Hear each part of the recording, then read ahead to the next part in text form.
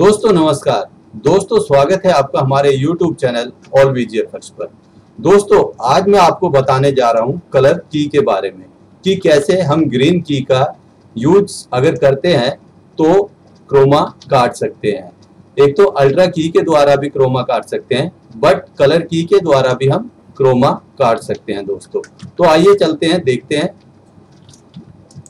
ये एक वीडियो मैंने इस पे डाल लिया अपनी टाइमलाइन पे। और यहाँ से हम स्केल करके इसके साइज़ को हम कम कर देंगे। यानी कि 50 कर देंगे तो फिट हो जाएगा। थोड़ा सा इसको इस टाइप से कर लेते हैं और, है ना? अब क्या करना है हमने इसमें? कलर की करना है। तो आपने क्या करना है? सिंपली यहाँ पे जाना है राइट साइड पे और यहाँ पे होता है आपके पास में पैनल इफ़ेक्ट पैनल ये और यहाँ पे हमने लिखना है colour C O L O U R colour या आप की भी अगर लिख देते हैं तो ये देखिए सी ओ एल ओ आर लिखेंगे, या की भी लिख देंगे तो चल जाएगा। यहाँ पे आ गया आपका ये कलर की। इसको उठाना है सिंपली आपने क्या करना है, इसके ऊपर ड्रैग कर लेना है। ड्रैग करके आप क्या करेंगे, इसमें पैनल सेटिंग में चले जाते हैं, ये यहाँ पे। यहाँ पे आपके पास में ऑप्शन होता है की का, की कलर यानी कि। अब आपने क्या करना है सिंपली इसको पिक करना है। और यहाँ पे क्लिक कर देना है।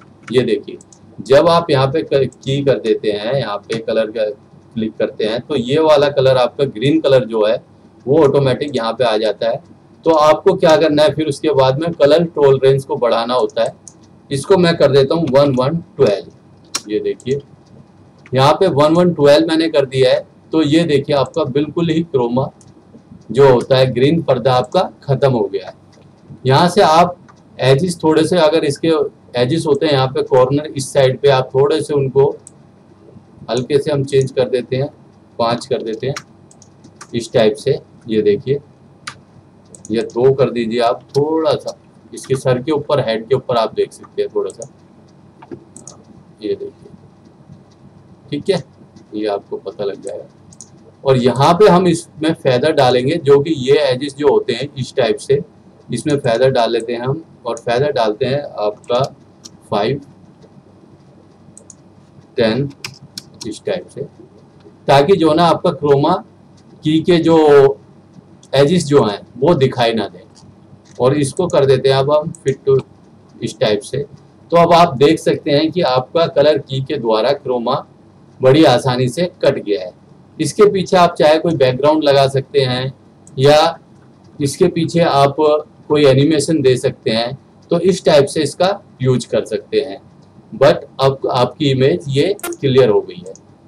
वीडियो तो दोस्तों, आगे मैं आपको बताऊँगा और भी कई इफ़ेक्ट के बारे में। So please keep watching my tutorial on the YouTube channel